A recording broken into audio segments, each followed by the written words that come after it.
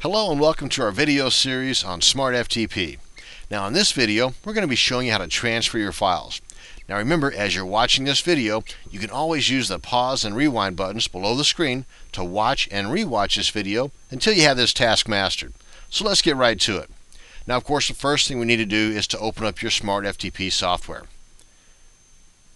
So now that we've got that done, let's go ahead and connect to our remote browser.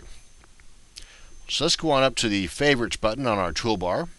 Click on Favorites, click on Quick Connect, and then click on the site that we want to connect to. There we are. Now that's connecting us to our server.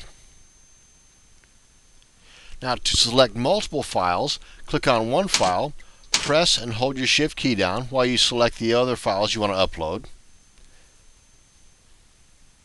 Then just click on the arrow icon to transfer from your local browser to your remote browser. And usually it's going to be the arrow pointing in the direction you want the files to go in. Oh, and as a safety precaution, if you have the same name file on your remote browser, SmartFTP is going to ask you if you want to overwrite that file before it just actually does it on its own. Now, downloading the file is the same process.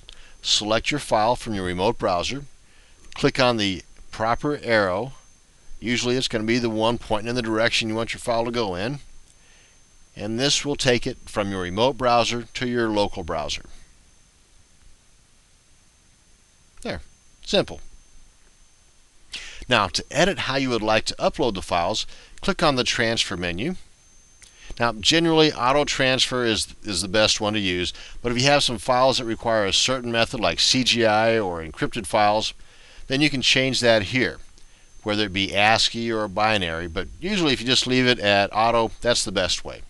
And that's going to bring us to the end of this video.